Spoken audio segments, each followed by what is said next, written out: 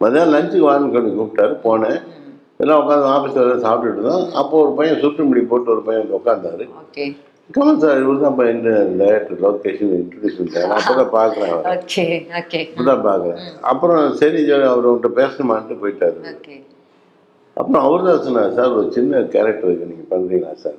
ஏன் பண்ணலாங்க நாங்கள் ராஜ்குமார் நான் பண்ணாமல் இப்படி எதாக இருந்தானே நம்ம கம்பெனி ஏன்? என் கம்பெனியில் நான் பண்ண வேண்டியதானே? ஆமாம் சார் நீ பண்ணுங்க சார். சொல்லிட்டு அப்போ தான் அந்த கேரக்டர் கொடுத்தாரு.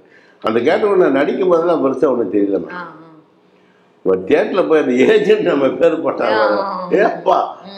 செம கிளாஸ்ல சார். செம்மல சார் ராஜ்கமல் பிலிம்ஸ் அந்த தயாரிப்பு நிறுவனம் பத்தி சொல்லுங்களேன். ஏன்னா வந்து நிறைய தயாரிப்பு நிறுவனம் பணம் எடுக்கணும் அப்படின்னு சொல்லி படம் பண்ணுவாங்க. ஆனா ராஜ்கமல் வந்து பணம் வருதோ இல்லையோ இந்த கதை வந்து மக்களுக்கு போய் சேரணும். நான் சினிமால ஒரு புதுசா ஒண்ணு பண்ணியிருக்கேன் அப்படின்னு அதேதான். ஓ கமல் சார் ஐடியா கரெக்ட்